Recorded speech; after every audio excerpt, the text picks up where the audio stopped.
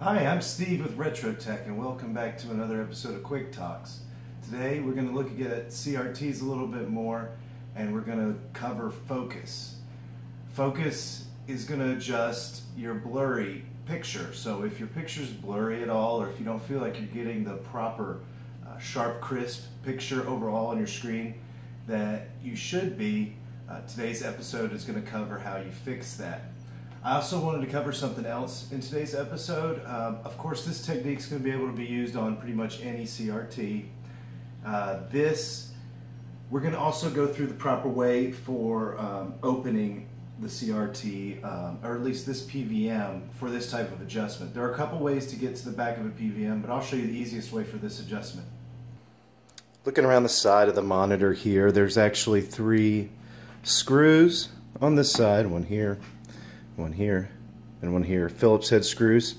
And it's the same thing on the exact opposite side. I'm sure you've seen those screws. Obviously today we'll have to remove all six of those screws.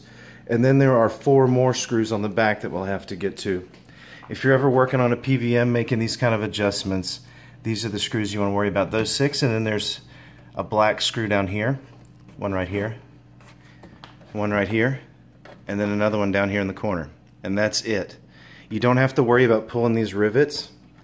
These rivets can be pulled if you need to make, uh, if you need to take the shell completely apart and clean it fully, which we'll talk about in a new episode. But to get to the PVM, you just want to remove those 10 screws. So let's do that now. Back behind the PVM now with the cover removed. And once you have your screws out you just want to slip that, pull the shell stand behind the monitor and pull the shell backwards and it just slides behind and comes right off. And now the part we're looking for to adjust our focus is back here. It's on this flyback 90% of the time. It's on here on this one. So it's right down here. There's a little black potentiometer knob down there if you can see it. And I have to just turn my turn it. I have to turn that little knob with my finger. Just left or right, basically clockwise or counterclockwise, to make an adjustment. The monitor does have to be powered on to get this uh, adjustment done right. And so basically what I'm going to be doing behind the monitor is just turning that potentiometer and clearing up our focus. I'm going to move the camera back to the front so you can watch that. I've got my screen turned on here with my test suite. This is a good test so you can kind of see throughout the entire screen how um, focused and sharp your picture is. Uh, you can see we got a blurry picture here, so let's start turning this. I'll move the camera a little bit so maybe you can see me doing it. And as I turn it, I'm going to watch the screen. Again, it has to be running. To watch the screen see how it just sharpens up very, very quickly.